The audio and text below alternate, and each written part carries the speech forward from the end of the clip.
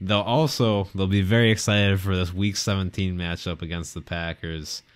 I mean, it's all come down to this. It seems like it always, you know, somehow works its way into being a game against the Packers. It's all important, you know. It's basically a playoff game. Um, except if they lose, there's still a chance that they could make it in as long as the Cardinals lose. So there is that little bit of a cushion.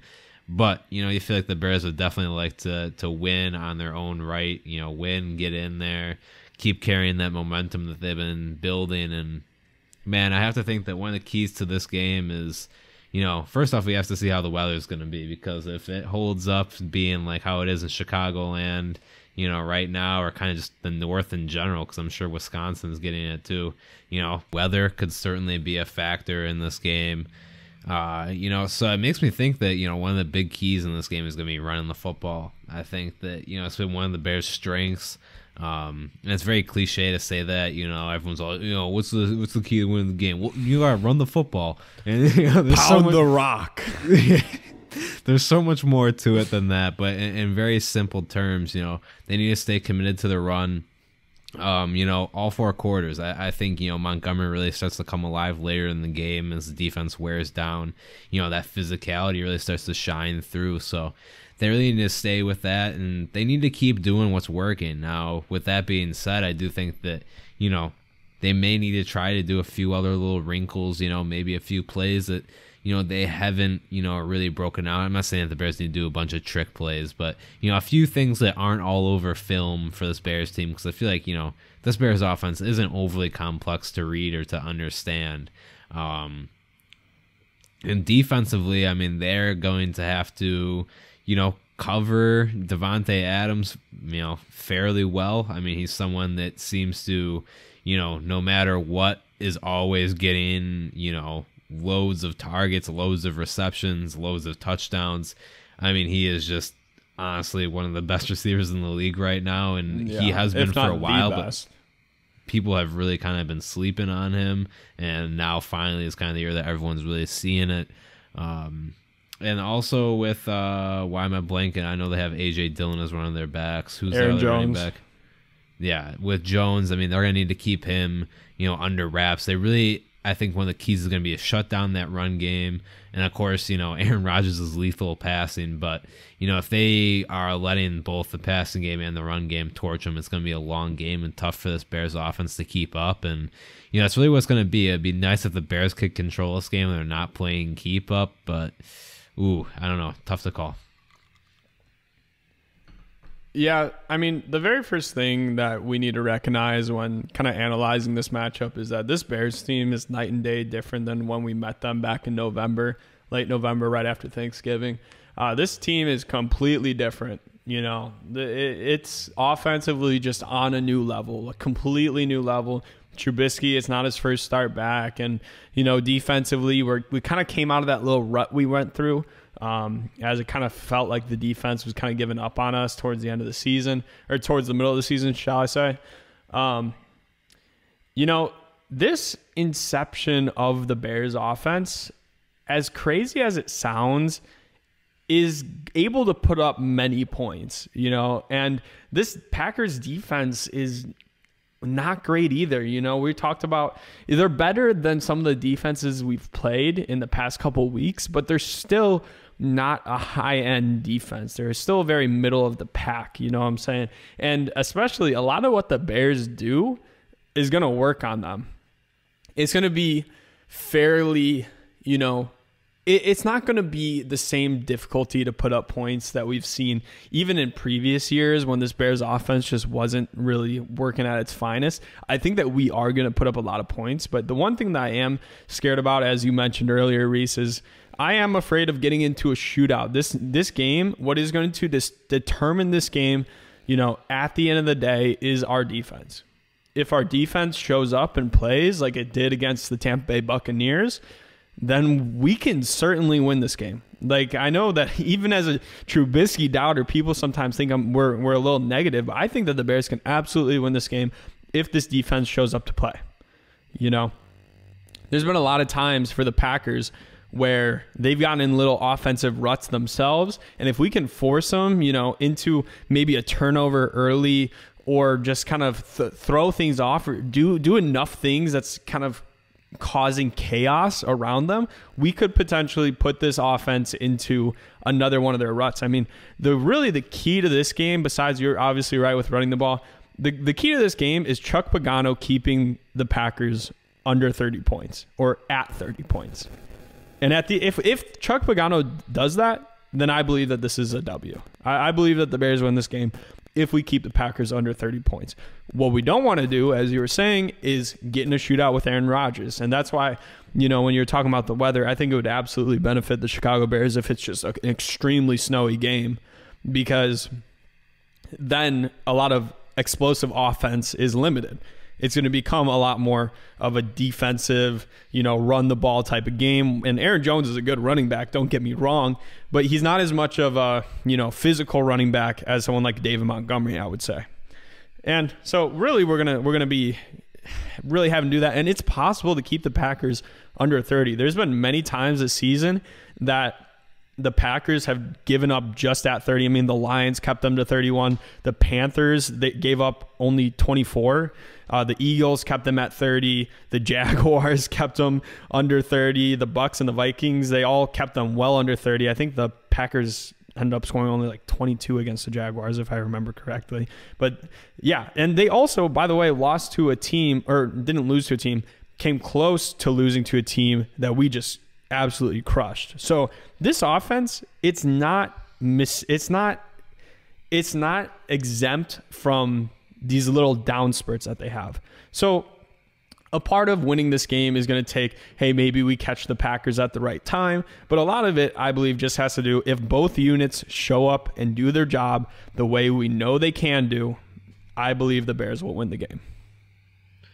Yeah, and the Bears can't have like uh, defensively can't have that bend but don't break mindset. I think that Pagano does need to turn it up, be a little bit more aggressive this week. You know, it, it does kind of seem counter logic. So you'd think, oh, against a good offense, maybe you'd want to play a little more conservative. But you know, I really get the feeling this defense needs to do something to get you know this Packers offense off their game a bit. Like you said, put them through a bit of a rut, make them go through a lull where you can exploit them. You know, maybe go you know, on a little bit of a run, build up a lead, or you know, whatever needs to be done. You know, you figure they'd be best off if they can just you know hit them in the mouth a little bit, maybe give them a little bit of something they won't expect. And I'm not sure if we'll get that. I think that this is a winnable game for the Bears. I know they're gonna be playing fired up. It's a big game. Um, you know, they've been playing good football recently. They got momentum, so at least that's working on their side. At the same time, the Packers this is a a great too. Packers. What was that? The Packers are the Packers are have some momentum too after they just destroyed the the Titans. Exactly. I, I was about to say, you know, they're playing a Packers team that's, you know, very good. This is one of the best Packers teams in a while, and that means a lot. Saying, you know, basically being that they're usually at the top of this division, you know, commanding things, and you know, are always doing great because Aaron Rodgers. But this is definitely a dangerous team, and you know, I, I think the Bears have a chance. It's going to be close. It's going to be tight. I don't want to say anything as to you know whether or not they'll win or lose. Um, you know, hopefully they can go out there and, and, you know, at this point, you know they've grinded out so hard to get that last wild card spot. It'd be good to see them do it. It'd be good for the team morale and all that. And uh, if not, it's going to be a tough pill to swallow, especially at being against the Packers. Yeah, you know, and it's not impossible for us to lose this game and get back, you know, and and stay in the playoffs. But I mean, it's definitely going to be a major lull for this team if they do, and it's going to be really difficult. Um, but man, it's just this this Packers team. I, the one thing that I think a lot of a lot of Bears fans they some think that just over because we're playing the Packers. I I don't agree with that. You know, the Packers they have their own issues at times. Uh, their defense again is not very stout. Really, another key is just you know if the Bears play, if their Bears defense plays the way that they played earlier on in the season, I think that this is going to be a, a, a, win for sure if they play that well. But that, again, that's a huge if. If everything is clicking, that's a huge if. And if the Chicago Bears win this game, I mean, there's going to be a lot of hype on this team going into the playoffs. Yeah, that's for sure. And I think that, you know, it'll be well justified hype. I think, you know, heading into the playoffs, if they are able to make it in, you know, they're on quite a tear. And I always say, you know, with the playoffs, go with the hot hand. I think the team that's riding some good momentum is always going to be lethal. And uh, the Bears would definitely be riding some good momentum there, knocking off, you know, the best team right now currently in the NFC. And I think that, you know, it's also a learning experience of battle. You know, if even if they're able to win a, a hard fought game, if that's how it ends up, you know, coming down, if it comes down to the wire, then you know this team is really going to be tested and they're going to feel quite you know confident. So you always like a team that's playing with confidence. I think that you know the offense being the way it is, I think there's definitely defenses out there that could maybe slow them down, give them a little bit of trouble. But it's hard to count this Bears team out, especially because you know, you know, the defense can play at such a high level, and even though they haven't been showing it recently, you know, sometimes the Bears just have those games where things come together, and sometimes they have those games where they really don't. I mean, this is a team that you know can really go through some phases, and right now they're in a in a pretty positive phase, and it's really just a matter of how much they can ride it out. I, I'm not particularly scared of anyone in the in the NFC. Probably the team I'm most scared of is probably the Packers, to be honest with you. Yeah. And, uh, I, I think that's fair. Everyone else, I think, is you know on a on a decent day on any given Sunday, right? You know, or Mm-hmm. Saturday with how these wild card games work. Um, the Bears could go out there and win. So I think that it's gonna be interesting to see how it all shakes out for sure. And yeah, hundred percent. You know, if this Bears team beats the Packers and they're going in the playoffs, there's gonna be quite a lot of hype. The one thing that I'm afraid of is that the Bears are going to beat the Packers and then draw them the exact same week. Uh, that is not that that would not be good for this team because I believe that this Bears team can beat the Packers. You know, one game any given Sunday, as you just said, uh, and I even believe that they could potentially go out later in the playoffs, potentially beat the Packers. What I don't believe is that they could beat them week to week, week after week. I do not believe that the Bears, because just seeing how this team is week in, week out, I do not believe that they could put in two consecutive wins against this team.